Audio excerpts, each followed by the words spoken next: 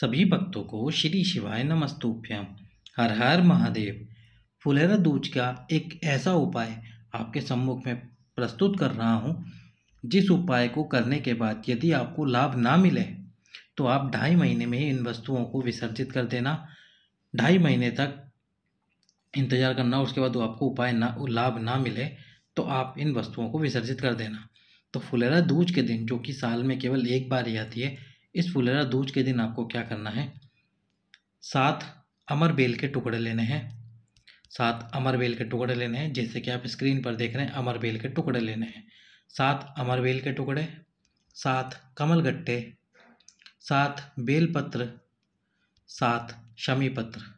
ये चार वस्तुएँ आपको लेनी है।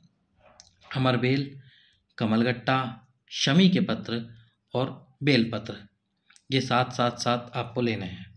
उसके बाद फुलेरा दूज के दिन, सुबह या शाम को, जब आपको समय मिले, तब साथ में आपको गाय का दूध भी लेना है।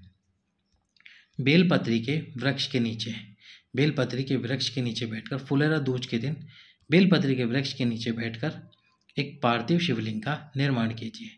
पार्थिव शिवलिंग का निर्माण करने के बाद में, जैसे आप पूजा की थाली लगाते हैं जैसे आप पूजा करते हैं, वैसे पूजा की थाली लगाइए। दूध उसके अंदर गाय का होना चाहिए, बाकी चंदन, रोली, मूली जैसा आप थाली लगाते हैं, पूजा करते हैं।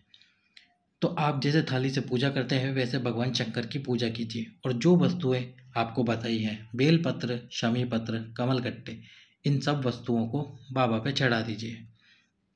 उसके बाद में घी का दीप लगाइए गोल बाती का गोल बाती का घी का दीप लगा दीजिए। उसके बाद आपको क्या करना है, पर धी, घी के दीप में, दीप के अंदर घी उतना ही डालना जितना कि